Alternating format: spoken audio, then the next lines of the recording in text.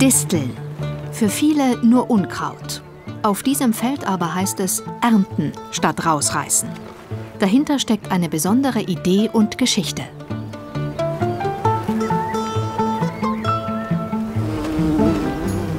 Diese kleinen Pollensammler spielen eine große Rolle dabei. Und er auch, Ernst Rieger.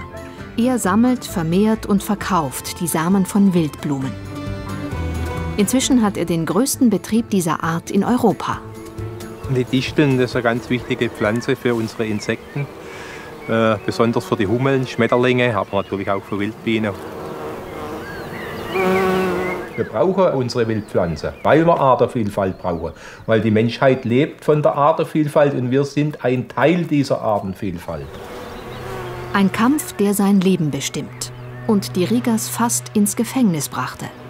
Eine Haftstrafe und bis 100.000 Euro äh, Strafe, das sind schon Summen, da, äh, da ist einem nicht mehr wohl. Das Leben mit Wildpflanzen. Kann das wirklich ein Abenteuer sein?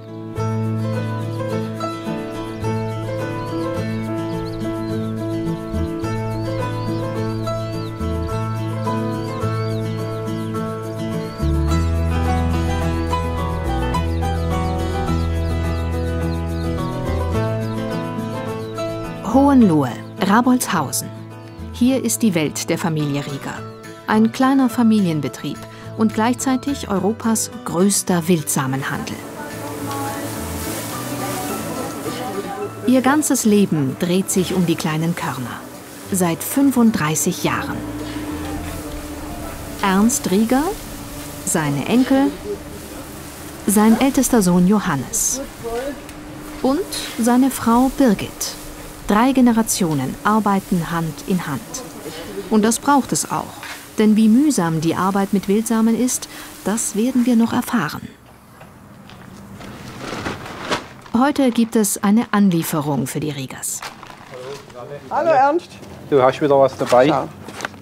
Wiesewachtelweizen. Ja, brauchen wir. Brauchen wir, ist gut. Genau der richtige Zeitpunkt. Und wie groß ist die Fläche? Ja, da kann man schon noch holen mach weiter, gib keinen zurück. Ja. Ja. ja, es kommt was raus, passt. Okay. Also, Gut. dann. Susanne Keidel kennt den Weg. Der Wiesenwachtelweizen geht gleich auf den Trockenboden.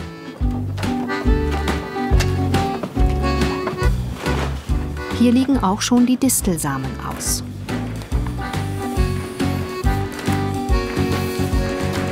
Nicht alle Pflanzen lassen sich wie die Disteln auf Feldern vermehren, sondern brauchen Waldboden und Bachläufe.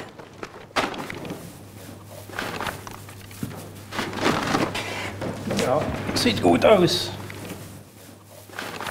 Da kann ich jetzt noch mehr sammeln. Also ich würde denken, wir würden schon ein Kilo Saatgut brauchen. Schauen wir mal, was ich zusammenbringe. Ja, schau ja. schon mal. Es hat, denke ich, noch gute Stelle. Ja, ist halt einjährig, man darf nicht zu viel nehmen. Nee, nee, Nee, nur ein Drittel. Gut. Ja? Gut. Sammeln ist die Ausnahme. Das meiste wächst auf Regers Feldern.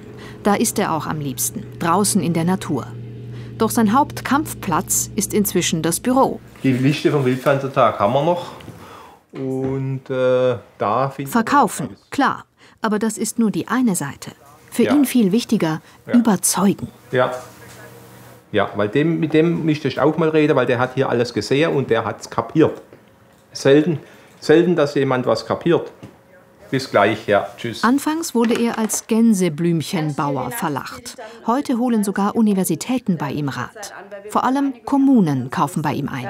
Aber der Renanthus hält auch die Keimfähigkeit nicht so lang. Äh, wir müssen dem, äh, dem ja. frisches, das frische Saatgut verkaufen. Ja, schreibe ich denen ja. so durch. Ja, schreib's. Okay. Danke. Das ist seine Schatzkammer, die Samenhalle mit 500 verschiedenen Arten. Es ist das Reich von Juniorchef Johannes, dem ältesten Sohn. Da muss er auf das Gramm genau den Überblick behalten.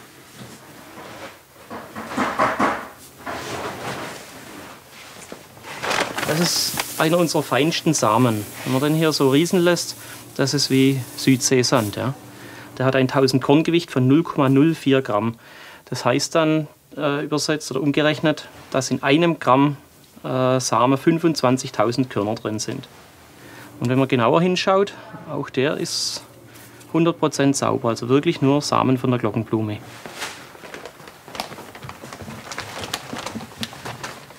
So, hier kommen wir jetzt zu unserem teuersten Samen.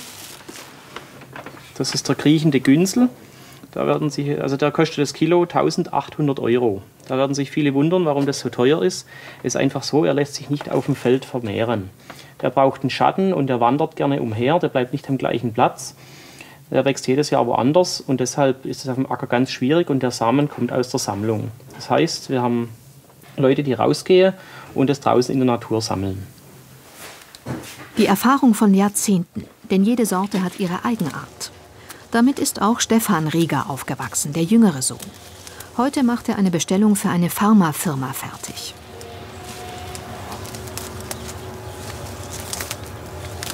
Die aufrechte Waldrebe geht als ganze Pflanze weg. Äh, jetzt raus zum. Ich arbeite mit Schwarzfolie. Putzen. Nein, äh, Boxbad. Boxbad mit Ja, mit ich fahre euch. Gut, Fahre euch raus. gut. Alles gut. Mit Arzneipflanzen fing bei den Riegers alles an. Erst daraus entstand die Idee mit den Wildpflanzensamen. Seitdem heißt es, jeden Tag mehr Wissen ansammeln. Und an die Söhne weitergeben. Also Stefan, mach lieber statt 15, 16, 17 Kilo, weil das hat noch Schwund. Also es sind starke, starke 15, halb so. Ja, ja, 16. Ja. Sind äh, Doppelt bezahlt. Ich lasse dir das wieder raus und dann kannst du ihn erstatten. Ich gebe dir dann den Vorgang. Ja, prima. Legst du es dann daher. Währenddessen herrscht Ehefrau Birgit Rieger über die Finanzen. Groß geworden ist sie auf einem Bauernhof. Heute managt sie einen Betrieb mit Kunden aus ganz Europa. habe ich gerade eben zwei E-Mails gekriegt. Eine E-Mail aus äh, Lettland. Und zwar wollen die in, äh, in der Ukraine, in Kiew, äh, Wiese auflegen. Mit einem Praktikanten angefangen. Jetzt haben wir 50 Mitarbeiter. Wenn mir das jemand vor 35 Jahren gesagt hätte, wäre ich nicht angetreten. Weil äh, ich komme aus der Landwirtschaft ohne Fremdarbeitskräfte. Und, aber im Laufe der Jahre lernt man das. Auch Ernst Rieger hat bäuerliche Wurzeln. Die Eltern hatten einen Hof mit Kühen und Schweinen.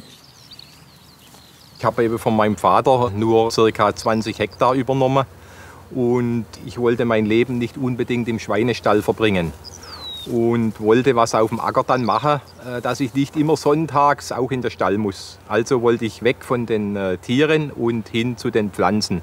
Und dann bin ich eben durch Zufall auf Arzneipflanze gekommen und durch Zufall dann auf Wildblume. Und dann haben wir hier den Acker voll gesät. Hier haben wir angefangen zu säen und an der Ecke dahinter haben wir aufgehört zu säen. 15 Arten und äh, geschaut, was, wie sich die Pflanzen entwickeln, was sie machen, was sie nicht machen. Ja. Und so machen wir es heute noch. Wir beobachten jeden Tag und kommen jeden Tag ein bisschen weiter in die Materie rein, weil die ist hochkompliziert. Eine Wiese von Ernst Rieger. Sieht aus wie natürlich gewachsen. Rieger scheint jede Blume persönlich zu kennen. Da ist Spitzwegerich drin, da ist Boxbar drin, da ist äh, die Wildform vom Rotklee drin, da ist der kleine Klee drin, da hat es einen Salbei, Margerite, Leimkraut. Aber woher weiß er, was hier am besten wächst? Kann er da einfach irgendwas aussehen? In so einer Fettwiese versuchen wir ca. 40 Arten einzubauen. Und dann so im Laufe der fünf, äh, nächsten vier, fünf, sechs Jahre, dann entscheidet sich, was für den Standort tatsächlich passt. Und wenn 30 übrig bleiben, dann war alles richtig. Echtes Seifenkraut. Eine von den 200 Arten auf seinen Feldern.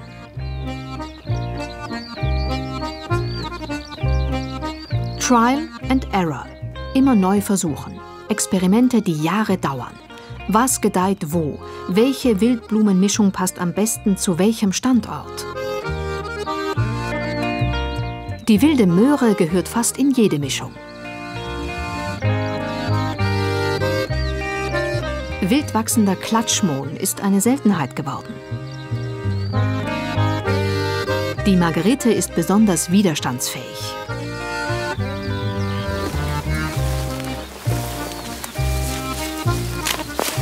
Ja, was ist das denn? Jetzt wird also doch rausgerupft? Sind das nicht genauso Wildblumen? Gibt es für Ernst Rieger tatsächlich Unkraut? Ja, der Ampfer ist ein gefürchtetes Unkraut. Und wenn der Ampfer zu viel ist in so einer Fläche, insbesondere auch in einer Ansaatfläche, dann verdrängt er zu viele von den Blumen, die wir haben wollen. Ein paar Ampfer wäre nicht schlimm, aber es gibt genug Ampfer auf dieser Welt, den müssen wir nicht verkaufen. Nicht nur der Ampfer macht Probleme. Ernst Rieger muss sich auch noch woanders durchschlagen. Das muss halt jetzt sein. Müssen wir halt durch. Er hat sich schon richtig durchkämpfen müssen. Und zwar mit seinem gesamten Betrieb. Die Idee, Wildpflanzensamen für Felder, für Grünflächen, für Straßenränder zu verkaufen, stand schon mal kurz vor dem Aus.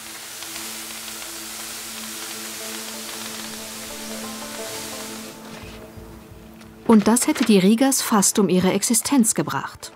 Der Verkauf von Wildpflanzensamen war nämlich in keinem Gesetz vorgesehen.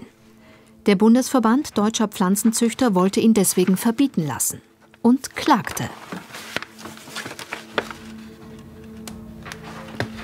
Für die Riegers begann die schwerste Zeit ihres Lebens. Es war sehr belastend. Eine Haftstrafe und bis 100.000 Euro äh, Strafe, das sind schon Summen, da, äh, da ist einem nicht mehr wohl.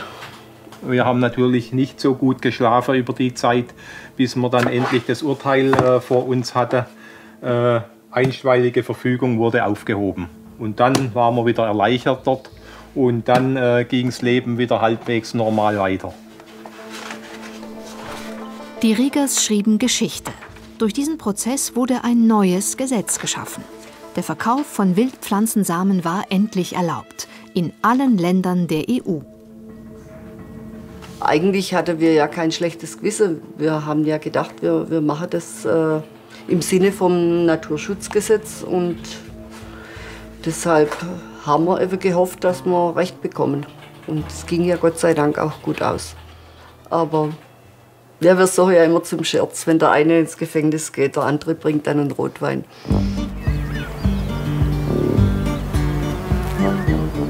Sie machen weiter. Die Firma wächst. Und das Wissen. Die zweite Generation steigt ein. Sohn Johannes beobachtet das Zusammenspiel von Insekt und Pflanze. Ohne Witwenblumen könnte die Knautensandbiene nicht überleben. Sie mag einfach nichts anderes. Also die Witwenblume, die hat einen roten oder orange-roten Pollen. Und den sammeln die Bienen auch. Den sammeln die ein mit ihren Hinterbeinen. Hier sieht man es. Das Interessante ist eben, dass die Hinterbeine ganz rot sind dann. Lauter Pollen. Also Pollen ist das Futter für die Larven. Und deshalb sammeln die Bienen nicht nur den Nektar, sondern auch äh, den Pollen.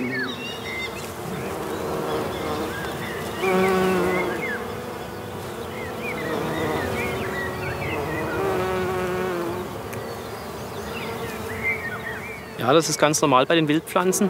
Die sind nicht alle auf einmal reif. Die sind ja nicht wie ein Weizen schon seit tausenden Jahren gezüchtet, sondern so wie hier die Witwenblume, die blüht einfach über einen langen, über einen langen Zeitraum. Das sind die einen, die so wie hier Knospen haben. Dann gibt es welche, die in Vollblüte sind, so wie diese hier. Und dann gibt es auch welche, die schon reif sind, so wie die, die ich hier auf der Hand habe. Alle Stadien sind gleichzeitig an der Pflanze. Also es gibt dann eben zwei Möglichkeiten. Entweder ich ernte das Ganze mit der Hand, also ich gehe durch und zupfe immer die Reifen raus, die so aussehen. Oder ich nehme einen Mählader, äh, das ist eine Maschine, die das Ganze auf einmal abschneidet. Und dann kann ich das Ganze reinbringen in die Scheune, nachreifen lassen, trocknen und dann erst austreschen. Aber es ist natürlich auch mit sehr viel Aufwand verbunden und ich muss sehr viel Material hin und her wälzen. Auch bei den sprossenden Nelkenköpfchen muss Johannes mit dem Mählader arbeiten. Eigentlich ist er ein Langschläfer, aber hier muss er im Morgentau ran. Denn wenn die Kapseln trocken sind, fallen die Samen raus. Samen weg, Gewinn weg. Wie kriegt man die winzigen Samen aus der riesigen Menge Schnittgut heraus? Denn der Pflanzensamen muss völlig sauber abgesiebt sein. Da hilft nur immer wieder schütteln.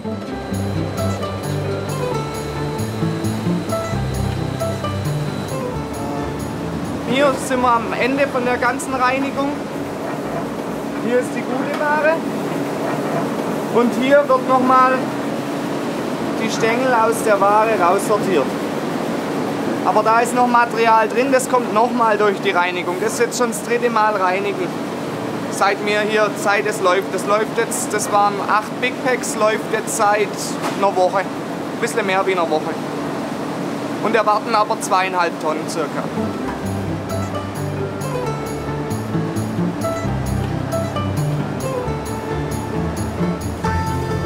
Während hier die zweieinhalb Tonnen schmalblättriges Rispengras durchgeschüttelt werden und eine Kontrolle nach der anderen durchlaufen, geht es nebenan mit einer Aufzucht los. Kleine Labkrautpflänzchen werden sanft für die Aussaat vorbereitet. Mitten im Sommer. Die Riegers brauchen Labkraut, also pflanzen sie Labkraut. Auch wenn die Sonne auf den Rücken brennt.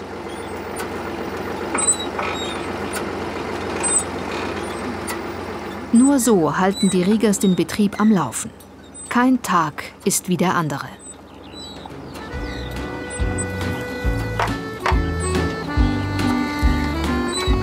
Es ist Hochsommer und Ernst Rieger ist mal wieder unterwegs.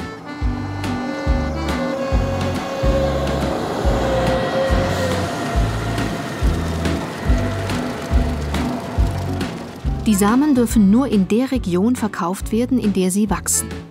Deswegen hat er Partner in ganz Deutschland, die für ihn anbauen.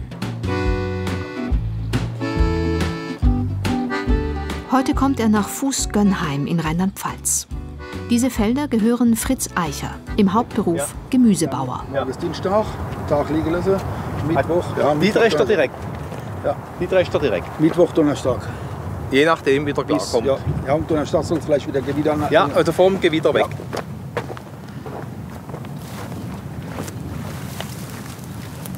Ah, da sind sie. Da sind sie schon da. Wenn sich die Kappe anhebt und sich die Kappe nach oben abhebt, dann ist Platz, weil kommt Wind und dann äh, geht es darum, dass es ausstreut. Wir müssen aber die schnellere sein. Da kommt fast schon nichts mehr raus. Ja, ja da ist schon da ist schon ein bisschen was oben raus aus dem Streuer. Ja, ja da ist doch einiges drin. Ne? Ja, ja, da, da, da, kommt Material raus. Das ist richtig fett. Ja, Wie viel A sind das? 300 ja, Meter? Das sind 300 Meter mal 2, 6, ja, 1500 Quadratmeter. 1500 Quadratmeter. Ja, das kann 100 Kilo Mohn geben. Und der schmeckt. Hm? Mohn? Mhm. Mhm. Kennt man auch nicht größere kennen, ne? Ja, ja. Auf der Mohnbrötchen. Oder Rieger gibt sein Wissen gerne weiter. Aber nur mündlich und nur an seine Mitarbeiter oder Partner. Die Konkurrenz ist wachsam. Fritz Eicher hat er jedenfalls angesteckt mit seiner Begeisterung für Wildpflanzen. Es ist patschnass kriegen wir hin. Naja, wir hatten vor drei, vier Jahren begonnen, bei uns in der Natur Saatgut zu sammeln. Ähm, in verschiedenen Arten, von der Schafsgabe, wilde Möhre, also alles, was bei uns hier einheimisch wächst. Ähm, haben mit so kleinen Gläschen haben wir angefangen und sind jetzt mittlerweile bei doch 10 Hektar Fläche angelangt, was Spaß macht, irgendwie in der Natur zu vermehren, die Bienen fliegen zu sehen. Ja, überhaupt die Bienen. Das ist bei Ernst Rieger nämlich nochmal ein ganz eigenes Kapitel. Manfred Dehnert ist Imker und auf dem Weg zum letzten blühenden Feld in der Gegend. Es ist ein Wildblumenfeld von Rieger. Hier ist für seine Bienen auch im Sommer noch viel zu holen.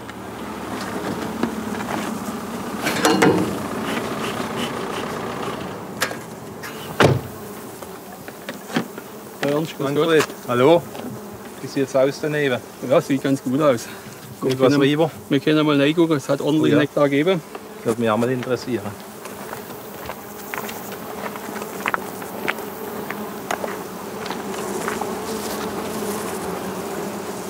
Rieger hat hier Phacelia angepflanzt. Auf Deutsch Bienenfreund. Hast du Bienenspruch drauf, dass mir es nichts tun?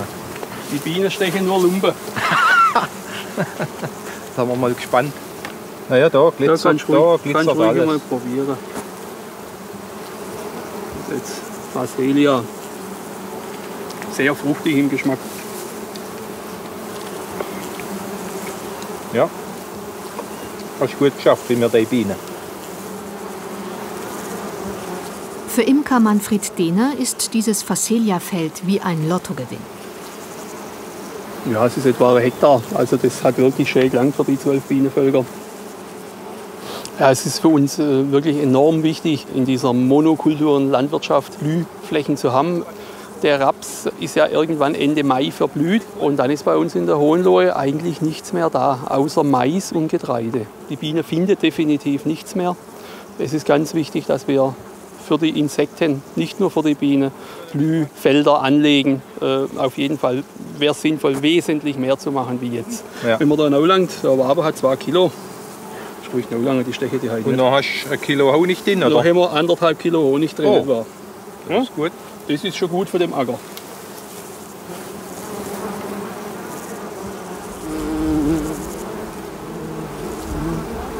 Für die Wildbienen, auch für die Hummeln, für die Schmetterlinge bis zu alle Kilometer zwei äh, so einen Acker geben. Weil die äh, Hummeln, die fliegen nicht so weit wie die Bienen.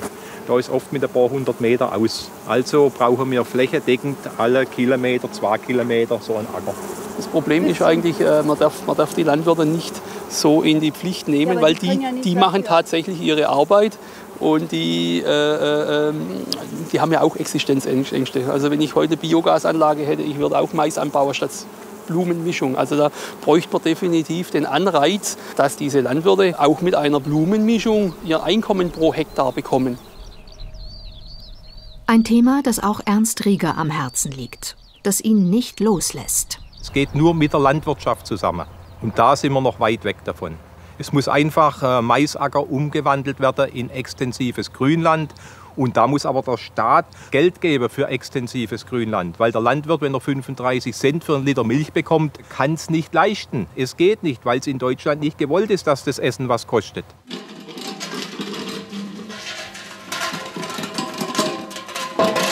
Und weil er nicht immer auf den Staat warten will, wird er aktiv, wo er nur kann. Die Gemeinde vor seiner Haustür hat kein Geld, um das kleine Beet neben der Kirche zu pflegen? Nackte Erde, nicht mit Rieger. Da sät er lieber selbst. Im nächsten Jahr will er damit hier Insekten einen gedeckten Tisch bieten. Seine Überzeugung, auch die allerkleinste Fläche hilft und ist ein Schritt vorwärts.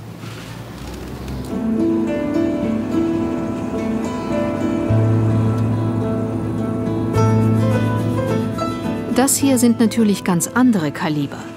Sohn Stefan auf seiner Lieblingsmaschine, dem Mähdrescher. Erntezeit für einen halben Hektar aufgeblasenes Leinkraut.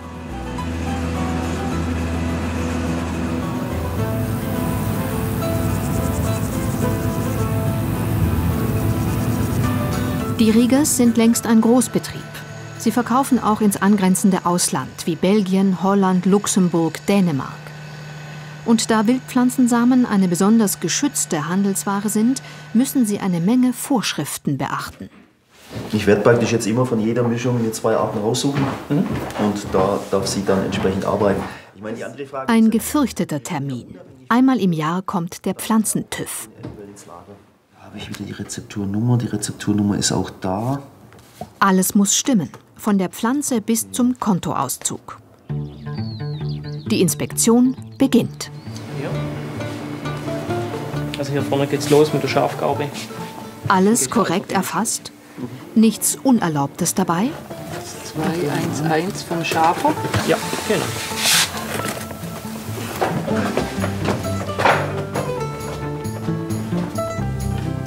Aber alles, was hier in unseren Säcken ist,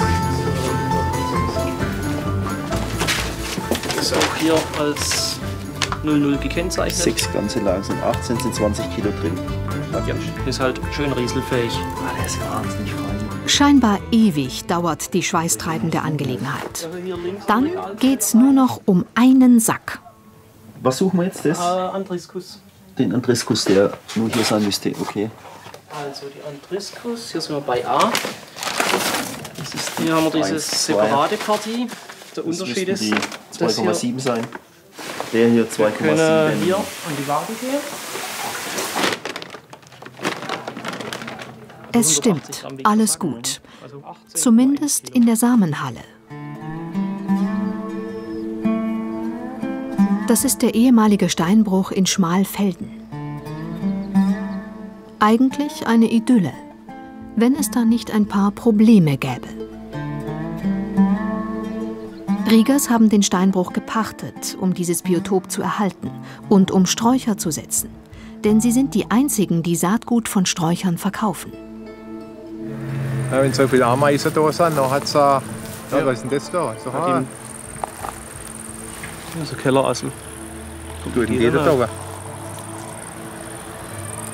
Ist ihr sicher, dass das ein Assel ist? Die gibt es schon in Sieverol. Seltsam. Ja, aber wie viele Ameisen das hat? Wenn es Ameisen hat, hat es auch Leis. Also hat es auch Marienkäfer. Alles da.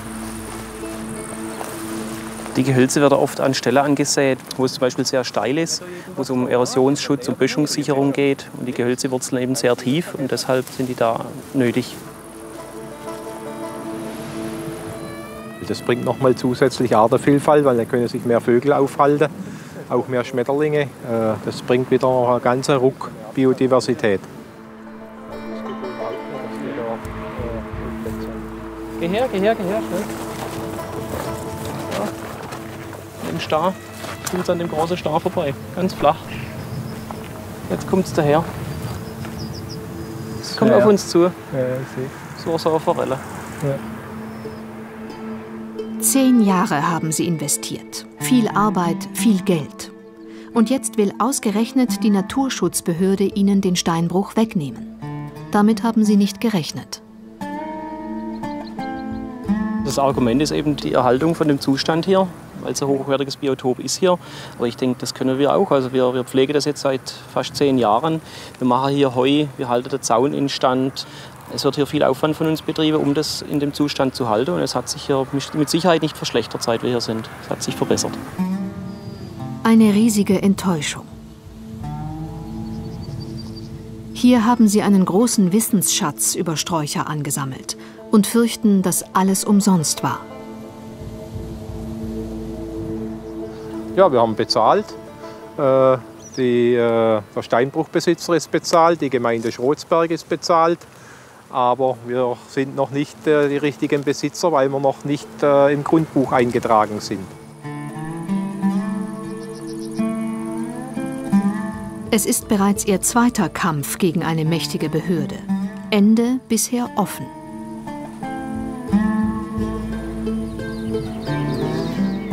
Aber Ernst Rieger will hartnäckig bleiben.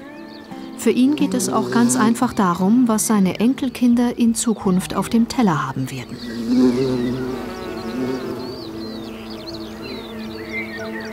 Wenn es jetzt diese 40% Bestäuberleistung oder die 40% Nahrung nicht geben würde, hätten wir kein Obst und kein Gemüse. Wir müssten alle jeden Tag wie die, wie die Inder und wie die Chinesen Reis essen. Oder äh, Haferbrei. Wollen wir das? Elke soll mal rechts rum. Rechts von der Andrea, ah, von der Roswitha. Genau zu dir rüber. Pack sie mal und zieh sie rüber. Dann kommt er ein wenig zusammen. Aber in der Mitte müssen wir einen Falz lassen. Ja, den habe ich aber nicht. Fotoshooting für den neuen Katalog. In der wilden Möhre. Für den nächsten Sommer. Und der kommt bestimmt. Und der nächste Kampf auch. Schaffen wir es vor dem Regen. War jetzt nicht geschwätzt.